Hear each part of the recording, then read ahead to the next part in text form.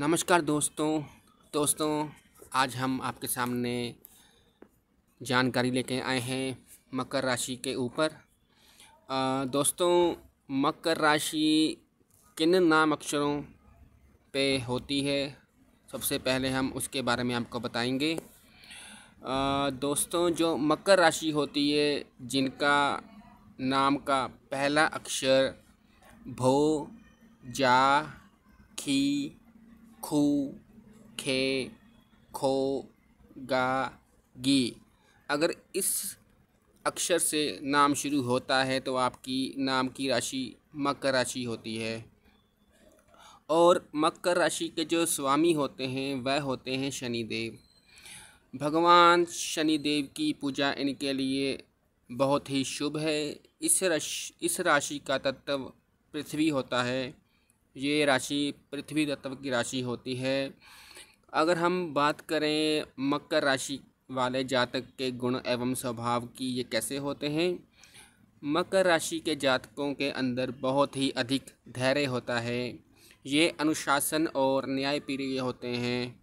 ऐसा इसलिए कि इस राशि के स्वामी शनिदेव होते हैं और शनिदेव न्याय के देवता हैं। ये जातक किसी के खिलाफ़ अन्याय नहीं होने देते। ये बहुत ही मेहनती और अपने कार्य के प्रति समर्पित होते हैं। ये एक जिम्मेदार नागरिक भी होते हैं। ये जातक दिखने में बहुत दुबले पतले होते हैं। ये जो भी काम शुरू करते हैं, उसको पूरा करके ही शांत होते हैं।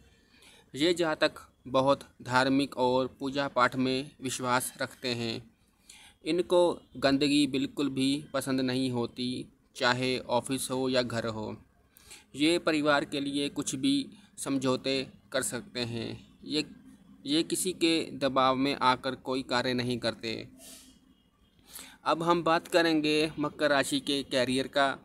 तो मकर राशि के जो जातक होते हैं, ये सरकारी और गैर सरकारी संस्था में नौकरी करते हैं।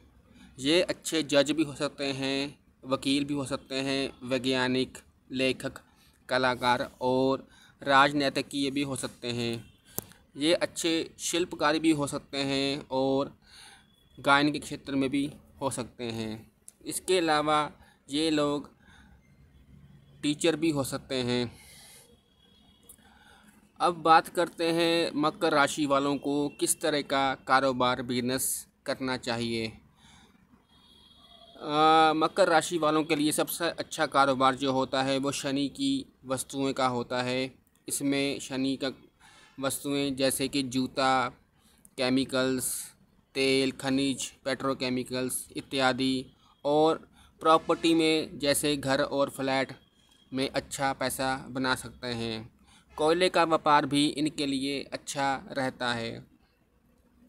मकर राशि के जातकों को शॉर्ट में सफलता नहीं मिलती, इसलिए इनको मेहनत करने पर ही सफलता मिलती है और ज़रूर मिलती है। अब बात करेंगे मकर राशि वालों का वैवाहिक जीवन। तो मकर राशि वालों के लिए प्रेम और शादी इनके लिए जीवन की तरह होता है।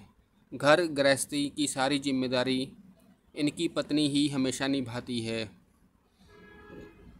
अब बात करते हैं इनके भाग्यशाली रतन की। तो किसी भी प्रकार की समस्या से परेशान हैं तो कुछ रतन धारण कर सकते हैं, जैसे कि नीलम और नीली। इनको धारण करने से इनकी कुछ समस्या कम हो सकती है। और अगर हम उपायों की बात करें मकर राशि वालों के लिए तो इनको चाहिए कि हर शनिवार को सरसों के तेल का दिया और थोड़े से उड़द की दाल शाम को शनि देव जी को चढ़ाएँ। और भाग्यशाली अंक इनका होता है चार एवं आठ। और शुभ दिन होता है इनके लिए दिन शनिवार। और रंग इनके लिए होता है काला, नीला और भूरा। हालाँकि काला, नीला भूरा रंग ज़्यादा इस्तेमाल नहीं करना चाहिए, ये सख्त हिदायत दी जाती है।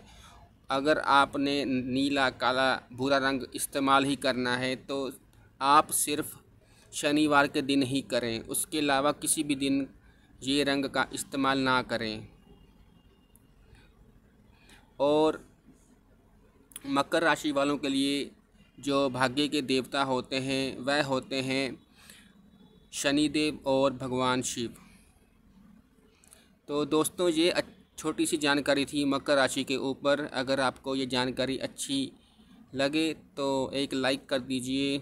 हमारे साथ बने रहने के लिए आप चैनल सब्सक्राइब कर सकते हैं। तो मिलते हैं दोस्तों अगली किसी जानकारी के साथ। तब तक के लिए धन्यवाद।